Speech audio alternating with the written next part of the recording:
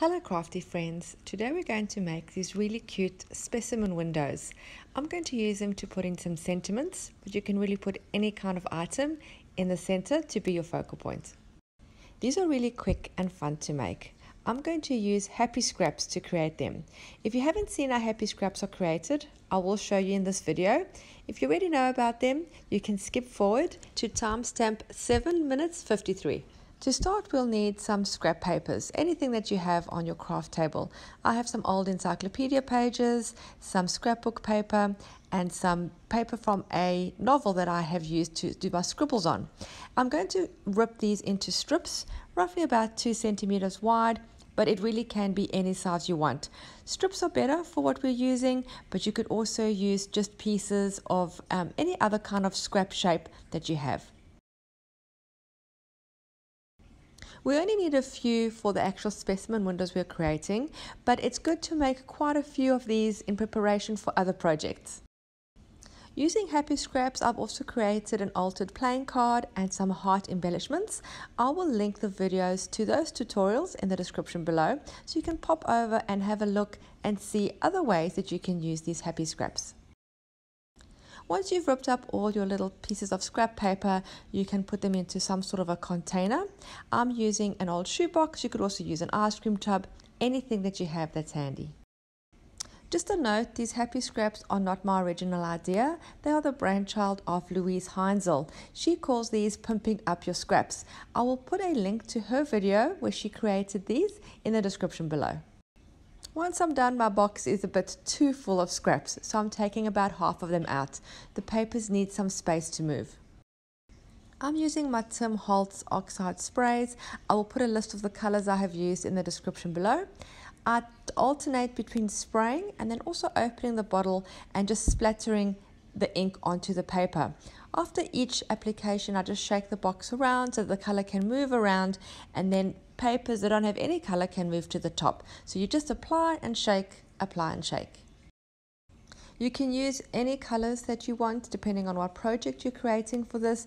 And also you don't have to use inks. You can use watered down acrylics or even watercolors, whatever you have on your craft table.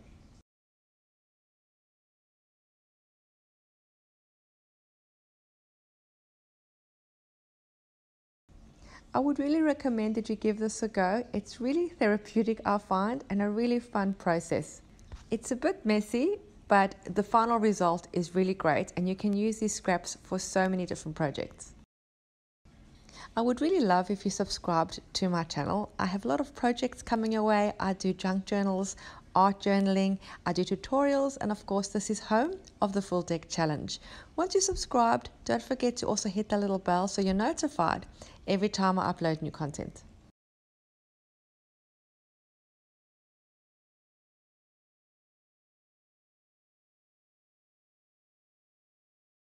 So I'm just going to continue adding my inks. I add about four different colors before I then run the heat tool over just to dry everything. I do let some of the wet inks sort of blend into each other to create more interest and different colors for my scraps.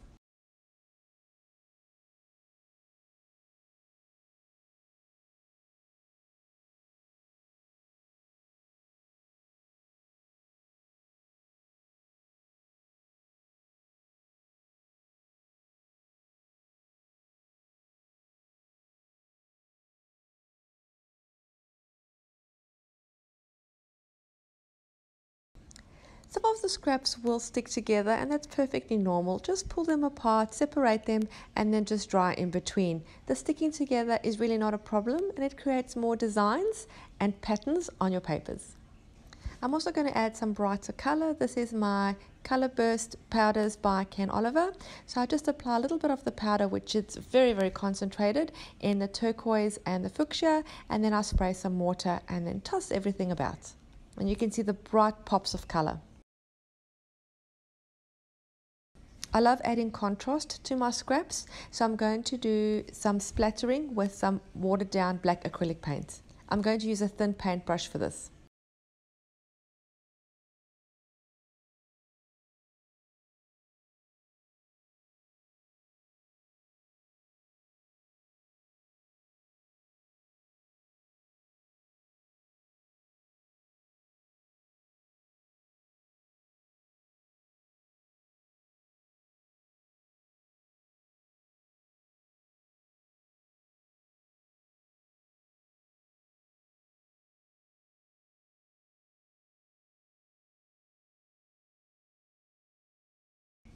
I'm going to do the same with watered down white acrylic paint.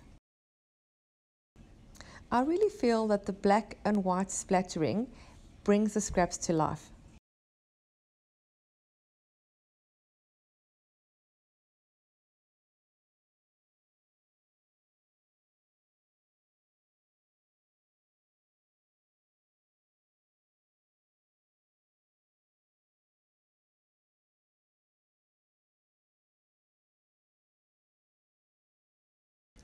I also like to add a little bit of glitz onto my happy scraps so I like to add some gold metallic paint.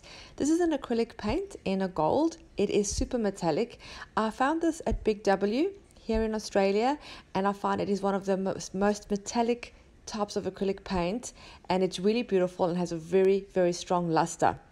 So I'm just going to squeeze some out and then I'm going to add some water to water it down and then do some splattering. And it brings a beautiful gold luster all over the scraps.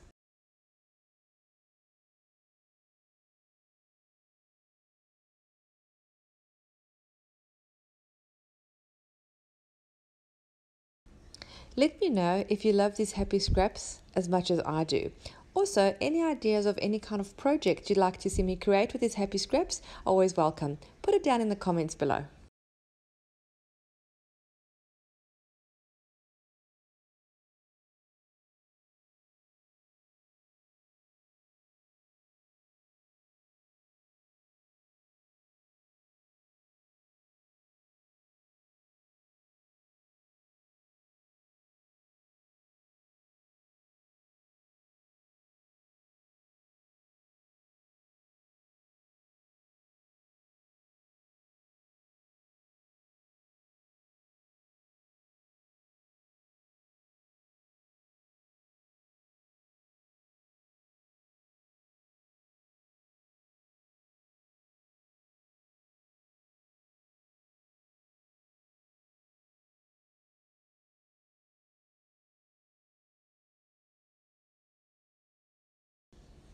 Once you're happy with the amount of paint and you've dried everything, you can look at your beautiful pieces and see the gorgeous designs that each strip has, each one totally unique.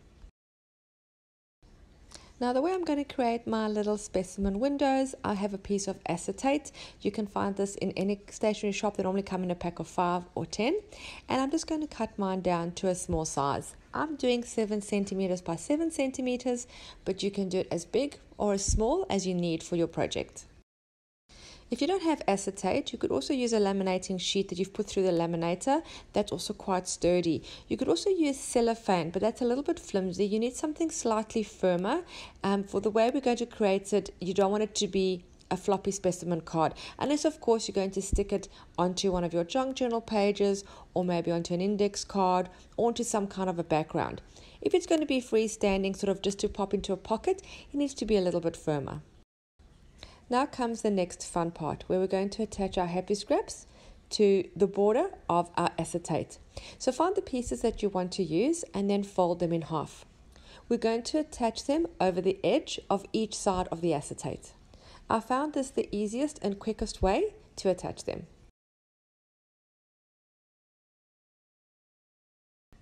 We're then going to use a glue stick to attach these to the four sides of the acetate. I'm using a glue stick because I want to then also still run it underneath the sewing machine. If you don't have a sewing machine for the next step, you could use a stronger glue like a craft glue or even double-sided tape for this part.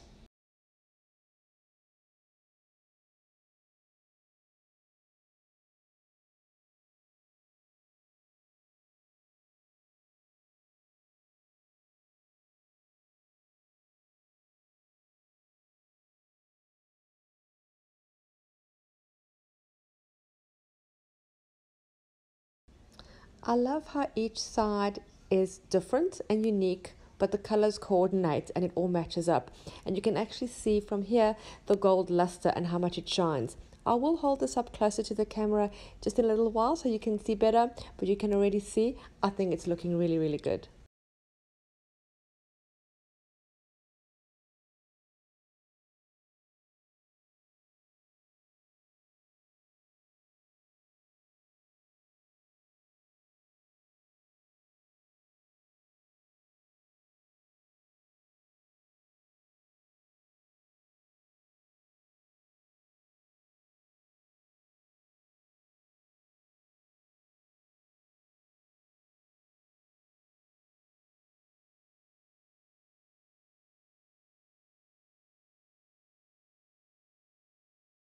I'm loving these already. I hope you are too. Let me show you a quick close up so you can see how the colors look on the edges. I think that's super fun. I'm now going to take it and run it under my sewing machine. I'm using a turquoise thread and I'm doing just a running stitch and then doing some of my bunching thread technique just to create a bit of interest. If you'd like to know how I do that, I do have a video tutorial that I will link also in the description below. Now you can add anything to the middle of this. You can make it like a normal specimen card and you can put a kind of an insect, a butterfly or a dragonfly. I'm going to use sentiments to be a little bit different. I have these stickers that I got off AliExpress. They're pretty easy to use and they're super fun. Now I wasn't quite sure if I should use the black and white or the white and black. Personally, I think the black with the white writing looks better, it contrasts better. Why don't you tell me in the comments below which one you prefer? And here's a final close up to see each of these little specimen cards. I think they're super fun, add a lot of interest to your project, and you can make them in advance. You can also make some and send them as happy mail, and it's a great way to use up your scraps. Thank you so much for taking the time to watch my video. I really hope you enjoyed it and were inspired to create your own happy scraps and then turn them into something fun like a specimen window. Don't forget to subscribe. I'll see you again soon. Bye.